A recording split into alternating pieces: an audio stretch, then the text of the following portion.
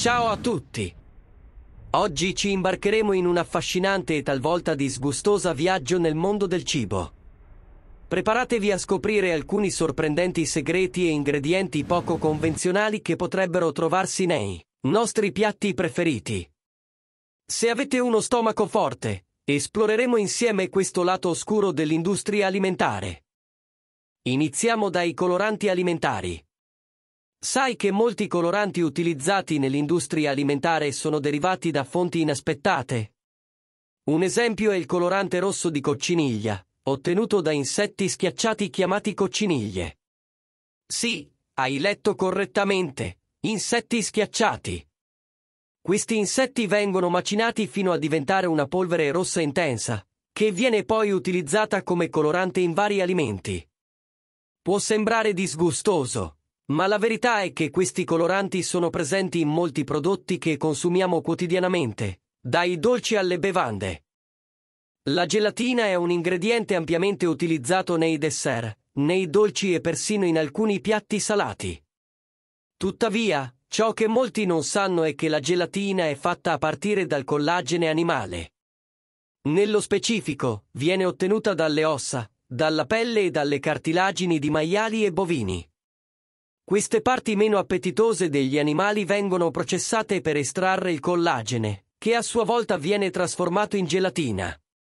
È un po' disgustoso pensare che stiamo consumando parti meno nobili degli animali sotto forma di gelatina colorata e saporita. Parliamo ora della L-cisteina. Questo amminoacido è comunemente utilizzato come additivo in molti prodotti alimentari, come pane, pasta e prodotti da forno in generale. Tuttavia, l'origine di questo ingrediente può essere piuttosto disgustosa. La L-cisteina è spesso derivata dalle piume degli uccelli o addirittura dai capelli umani raccolti nei saloni di bellezza. Sì, hai letto bene, capelli umani. Dopo un processo di trattamento, questi materiali vengono trasformati in una polvere bianca che viene aggiunta a vari alimenti per migliorarne la consistenza e la qualità. È inquietante pensare che i nostri alimenti possano contenere ingredienti così bizzarri. A. Il formaggio cremoso e delizioso che usiamo per coprire i nostri hamburger e fondere sulle nostre pizze. Purtroppo, non tutto è come sembra. Molti formaggi processati sono fatti con una sostanza chiamata caseina, che viene estratta dal latte mediante processi chimici. Tuttavia, Ciò che potrebbe essere considerato disgustoso è il processo attraverso il quale si ottiene la caseina. Essa viene sottoposta a un trattamento che coinvolge acido cloridrico e enzimi derivati dallo stomaco dei vitelli. Sì, hai letto correttamente, enzimi dello stomaco dei vitelli. Questi enzimi vengono utilizzati per coagulare il latte e formare il formaggio. È abbastanza sgradevole pensare che il nostro formaggio preferito possa essere passato attraverso un processo così strano. Quando pensiamo alla frutta fresca e succosa, di solito immaginiamo un'immagine perfetta. Tuttavia, la realtà può essere un po' diversa. Spesso, la frutta viene trattata con della cera per migliorarne l'aspetto e la durata. Ma ecco il lato disgustoso, Alcune cere utilizzate possono contenere derivati del petrolio, come la paraffina e la cera di polietilene. Queste sostanze vengono applicate sulla superficie della frutta per conferire quel brillante attraente. È un po' disgustoso pensare che potremmo potenzialmente consumare uno strato di cera di petrolio quando mordiamo una mela lucida. Un altro ingrediente disgustoso che troviamo spesso è l'acido citrico. Questo composto viene ampiamente utilizzato come conservante e esaltatore di sapidità in molti prodotti alimentari, come bevande gassate e succhi di frutta. Tuttavia, il modo in cui l'acido citrico viene prodotto in alcuni casi può essere un po' disgustoso. In certi paesi, viene ottenuto da funghi fermentati in una sostanza chiamata melassa nera.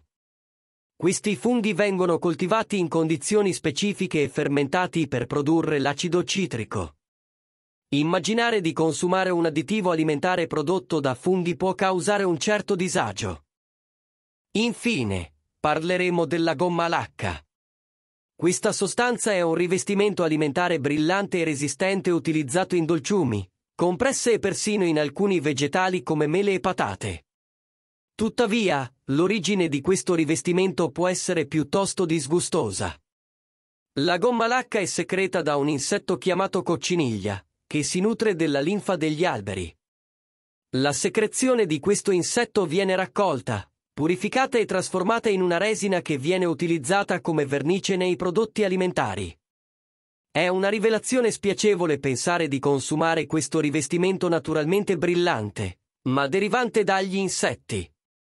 Il nostro viaggio attraverso gli alimenti con ingredienti disgustosi è giunto al termine. È importante sottolineare che l'industria alimentare segue rigorosi standard di sicurezza e normative, e molti degli ingredienti menzionati sono considerati sicuri per il consumo.